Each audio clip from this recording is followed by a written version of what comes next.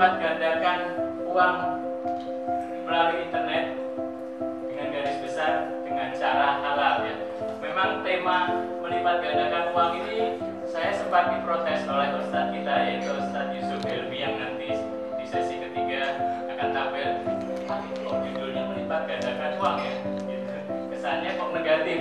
Justru kita ingin mengundang bapak-bapak supaya lebih penasaran gitu ya dengan tema melipat gandakan uang karena di tahun dua tahun terakhir ya kita dengar berita waktu itu ada cara-cara melipat gandakan uang tapi yang tentu saja ada yang tidak halal dan itu bukan jalan kita. Kita maunya melipat gandakan uang dengan cara halal supaya harta kita lebih barokah lebih barokah daya manfaatnya lebih besar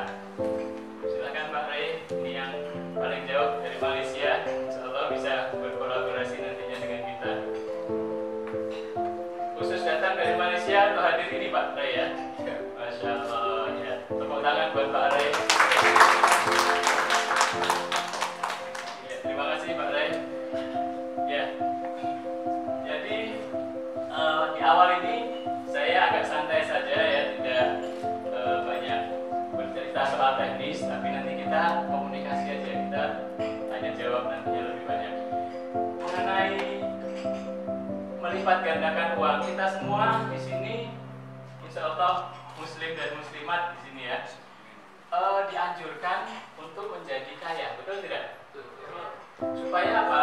Karena memang untuk menjadi umat Islam yang sempurna itu kita membutuhkan dana ya. Kita mau berhaji kita mau umroh kita mau berwakaf berzakat gitu ya. Semua membutuhkan uang.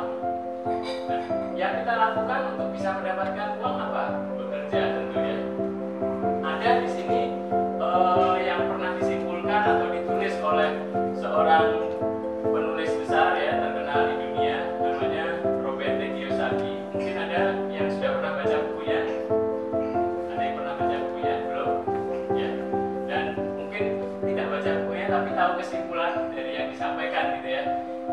Jadi Robert T. Kiyosaki itu dengan bukunya yang sudah sangat terkenal di dunia, dia menyampaikan bahwa cara mencari uang itu secara garis besar ada empat.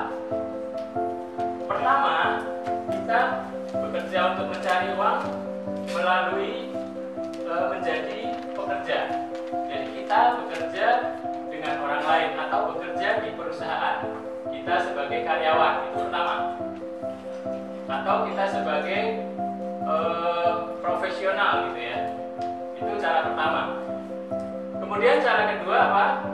Kita sebagai wira swasta kita punya usaha. Entah itu toko online entah itu eh, kita punya usaha produksi sesuatu ya. Seperti tadi ada yang punya eh, jaket sholat ya apa namanya? Rompi. Rompi sholat ya. Itu termasuk usaha sendiri ya kan? Usaha sendiri. Itu juga salah satu cara mencari uang. Itu yang kedua. Kemudian yang ketiga usaha sendiri punya perusahaan tapi bekerja sama dengan orang lain yang seperti waralaba lah gitu ya. Kita punya cabang di mana-mana. Usaha kita namanya satu tapi ada di mana-mana. Itu cara ketiga. Jadi melipat gandakan uangnya sudah lebih canggih lagi satu toko tapi bisa ribuan toko karena kita buat seperti sistem waralaba itu cara ketiga. Cara keempat ada yang tahu? Ini tadi ya apa itu investasi ya. Nah kalau investasi bedanya dengan cara yang ke satu kedua dan ketiga apa? Investasi itu adalah uang yang bekerja untuk kita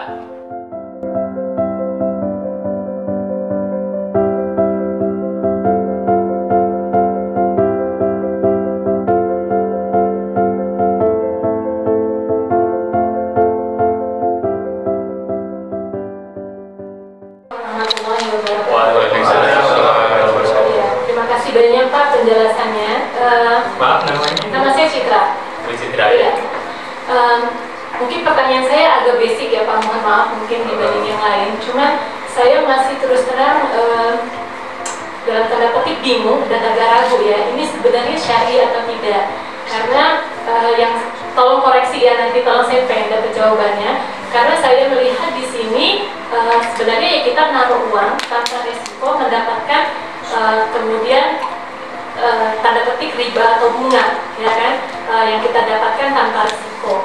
Nah, mungkin bisa nanti dijelaskan seperti apa dalam muamalah bentuk kerjasama seperti ini. Karena kalau dia bentuknya partnership atau kerjasama, mestinya dua belah pihak itu ada faktor resiko. Misalnya, misalnya tadi rumahnya udah laku semua, tapi misalnya ada banjir, misalnya atau apa, dan kemudian kerugian menjadi uh, tanggung jawab kedua belah pihak. Kalau ini kan pihak investor seperti saya hanya menaruh uang, sama seperti saya lihat seperti kita menaruh uang yang riba, gitu naruh riba, yang return kita dapat uang uh, riba sekian. Uh, contohnya sih juga terus terang mungkin bagian dari teman-teman di sini yang bingung, yeah. duitnya nggak banyak pak, nggak sampai bantalnya sakit. yeah. gimana ya syarinya sama suami uh, karena sudah mengerti uh, ngeri sekali dengan uh, dosa riba ini. Nah jadi uh, concernnya bukan lebih ke return investment atau secure-nya, mungkin itu nanti bisa ya, syarinya pak yang mungkin yeah, untuk kita di sini. Sedikit mungkin saya sampai di level uh, mau deposito syari, tapi saya kemudian uh, ikuti uh, penjelasan dari uh, Ustadz Dr. Erwandi, nggak ada itu deposito syari, nggak ada itu bank syariah, semuanya riba dan nggak ada. Kamu naruh uang sekian, kalau masukin uang sekian, kan kamu cuma dapat uang segitu, kecuali bentuk kerjasama dan ada faktor risiko. Mohon penjelasannya ya Pak. Ya, terima kasih. Kita harus menjelaskan ya, karena memang kita mengajak orang berbuat baik tapi manakala memang situasi kemarin dua tahun terakhir ada hal-hal yang membuat kita harus hati-hati gitu ya melepas uang kita. Nah pertama tadi mengenai pertanyaan uh, aman apa tidak ya? Bu ya uh, oh ya ya betul. Baik ya betul ya jadi uh, tadi yang ditanyakan di antaranya ini kan uh, syariah. Kalau syariah itu bukan berarti tidak ada resiko, ya kan? Pasti ada resiko. Pertama itu. Nah, resikonya seperti apa? Seperti tadi yang saya sampaikan, uh, di dana syariah ini resikonya adalah apabila si pembeli properti yang sudah memesan ini tidak melanjutkan pembayaran. Jadi uh, skenario nya begini, bisa Pak, BG coba dilanjutkan ke atas. Kita kita lihat langsung di websitenya ya. Mungkin Bapak Ibu ada yang sudah buka websitenya di handphone. Misalnya salah satu uh, proyek, katakan ya itu ya, yang kira ya, yang tengah, yang kayak yang satu lagi, yang rumah ya, nah itu, ya salah satu. Misalnya ini proyek properti. Nah, ini ada proyek properti yang sebenarnya ada di Cirende, mungkin Bapak Ibu ada yang daerah sana bisa lihat di dekat Bali View. Nah, itu uh, pro pro developernya punya pesanan ya, ada pemesan yang sudah akan membayar cicilan selama satu tahun. Tapi untuk bisa uh, menyerahkan bangunannya, si developer butuh dana untuk membangun pesanan itu ya kan? Satu sisi si pembeli tiap bulan dia mulai cicil. Ya tapi kan developer kurang modal sehingga mengajukan ke kita. Setelah kita buat akad-akadnya antara dana syariah dengan si developer. Nah akadnya ini apa? Ya akadnya adalah murah bahas itu bagi hasil dijual beli. Kenapa murah bahas nah mungkin bagi bapak ibu yang sudah paham itu ya mungkin sudah bisa cukup mengerti tapi kalau yang tidak nanti detailnya akan disampaikan oleh Ustaz Isobah Helmi. Tapi saya sekilas dulu ya Bu ya. Mungkin Bu Cita paham nih. Jadi murabahah itu e, sesuatu yang sudah ada pembelinya yang sudah jelas marginnya keuntungannya udah jelas nih. Jadi si developer e, men mengadakan bangunan itu membutuhkan satu miliar Kemudian si pembeli membeli dengan 1,2 miliar dan dia akan mencicil tiap bulan. Artinya keuntungannya sudah jelas belum? Sudah jelas berapa? 200 juta. Dari 200 juta ini inilah yang dibagi hasilkan dibagi hasilkan dengan investor yang dananya masuk patungan melalui dana syariah sejuta, ada yang dua juta, ada yang sekian juta. hasil sehingga ketemu angka bagi hasilnya itu kalau di sini berapa persen? 15 persen setara dengan 15 persen ini juga menjawab dari pertanyaan ada banyak yang nanya Pak ini e, katanya syariah tapi kok fix ya? Seperti bunga. Hanya 15 persen gitu ya. Nah 15 persen ini karena di sini akadnya adalah murabah kalau akadnya musyarakah musyarakah itu yang tadi saya sampaikan di awal pembelinya belum pasti. Sehingga harganya pun belum pasti. Sehingga karena belum pasti pakai range. Antara 15 sampai 20 ini pun belum pasti karena belum dapat pembeli dana syariah sampai hari ini hanya melakukan investasi kepada properti yang sudah ada pembelinya Bu. Ya, sehingga angkanya sudah fix gitu kan. Nah, fix ini memang orang rancu, ah, fixnya kok seperti bunga, tapi bukan karena memang basicnya dari yang sudah ada pembeli. Uh, seperti itu akadnya. Kemudian apa lagi tadi? Oh ya, mengenai resiko. Apa yang ditanggung bersama antara investor dengan uh, dana syariah. Dana syariah ini sebetulnya murni hanya sebagai perwakilan dari investor. Dari mana dapat uangnya uh, dana syariah sebagai platform? Jadi ceritanya begini, si developer itu membagikan bagi hasil itu sebenarnya 20%. Kalau kita cerita yang 15%. Ini aslinya si dana uh, si developer itu membagikan bagi hasilnya 20%. Dari 20% ini 5% dipakai sebagai ujroh istilahnya. Ujroh itu jasa, karena dana syariah berjasa mencarikan investor yang patungan secara bersama-sama. Jadi yang 5% ini diambil sebagai dana jasa bagi dana syariah, sehingga tinggal 15%. Nah, resikonya apa? Resiko yang terjadi apabila pembeli tadi yang sudah mencicil tiap bulan, dia di bulan ke-10 tidak bisa melanjutkan cicilannya, misalnya Bu ya. Nah, artinya apa? Di bulan ke-11 itu kita mungkin tidak dapat imbal hasil. Karena apa? Si pembeli tidak melakukan angsurannya. Yang kita lakukan apa? Yang kita lakukan adalah mencari pembeli lain.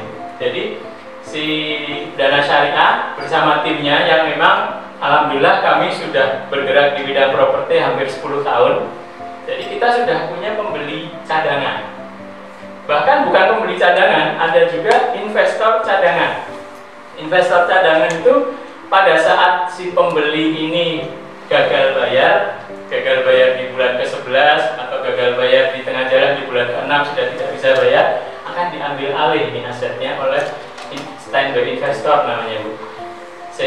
sebetulnya bukan tanpa resiko, ada resikonya tapi kita minimalisir. Kita buat berlapis gitu.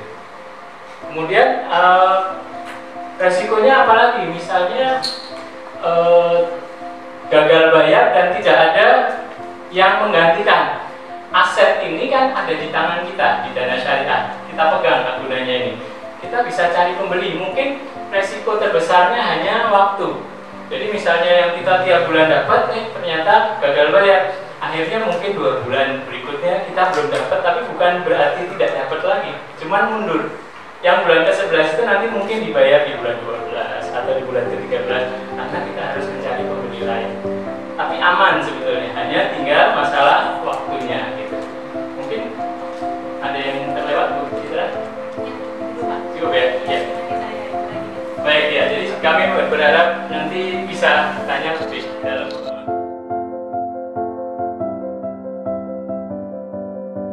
Saya uh, memperkenalkan diri, umur saya 80 tahun. Uh, nama saya Himan Suyudi. Uh, kelihatannya sangat luar biasa bagus, di luar uh, dugaan saya terutama mengenai yang menyampaikan ilmu pengetahuan tersebut uh, di mana dalam impian saya semoga saya bisa mengikuti. Alhamdulillah ternyata tuh bagus sekali. Sehingga saya terus terang saya langsung uh, mengajukan ini. Investasi kali ya bahasa anunya ya. Uh, uh, insya Allah besok kemungkinan saya nggak bisa jumlahnya. Jumlahnya tadi udah ya kemungkinan nambah. Gitu. Nah, uh, saya beranggapan uh, untuk memahami suatu ilmu pengetahuan tidak terbatas ruang dan waktu umur. Ilmu fisika mengatakan demikian. Jadi saya semangat walaupun istri saya anak saya mencekak. Kedua memang alhamdulillah ada dana. Kalau nggak ada dana juga nggak jalan kan ini saya manfaatkan ke saya sudah lama itu gimana dengan dana yang ini saya bisa bergerak. Nah syukur-syukur dengan generasi muda ini membantu saya. Uh, uh, membantu membantu saya untuk beraktivitas dalam hal ini. Uh, saya terus terang kemarin saya baru baru beli laptop baru beli HP belum saya bongkar tapi saya udah nekat.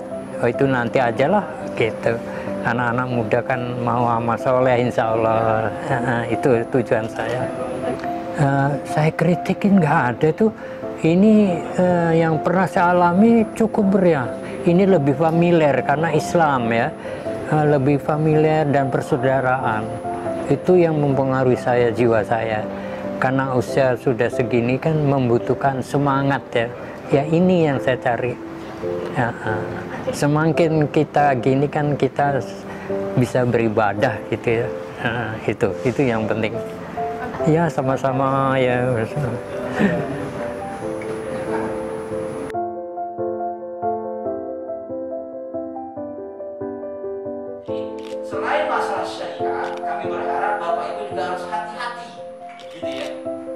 Hati-hati nah,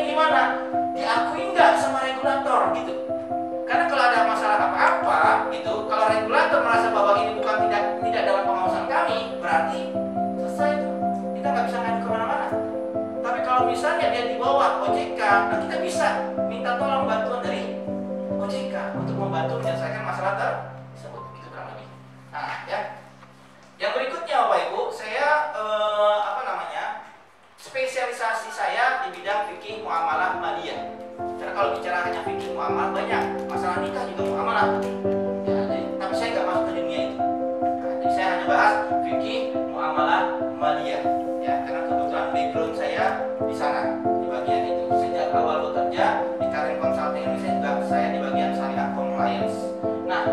Bapak Ibu, kalau kita bicara mengenai keuangan syariah nanti, maka setidaknya kita akan membahas dari dua sisi. Ya, dari dua sisi. Sisi yang pertama, kita harus melakukan screening dari sisi halal haram. Kalau kita ingin melakukan sebuah transaksi, lihat dulu, cek dulu, ini transaksi ini boleh atau tidak,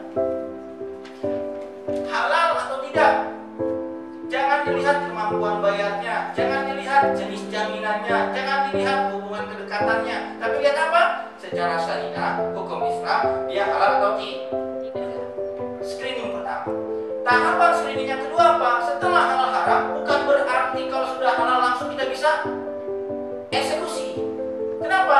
Karena nanti kita akan masuk pada tahapan yang kedua yang disebut dengan screening masalah penentuan akad akad ini menjadi sesuatu kata Syahrini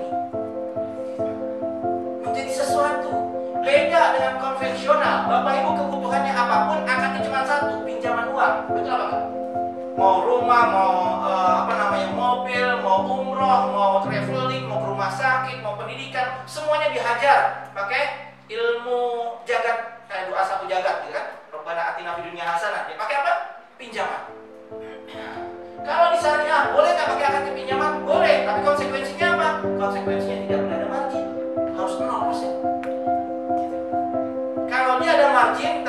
terkena kaidah apa? Kulukordin jarang nafkan fahuwa riba. Setiap pinjaman yang mengandung manfaat, dijanjikan manfaat, jatuhnya menjadi riba. Walaupun kita bilang, Pak, pinjam duitnya sama saya aja, Pak. Kalau di tempat lain 4% per tahun sama saya cuma 0,00001 persen. Tapi kalau akadnya adalah pinjaman, ada tuh keuntungannya adalah 0,0001 persen. Jatuhnya apa?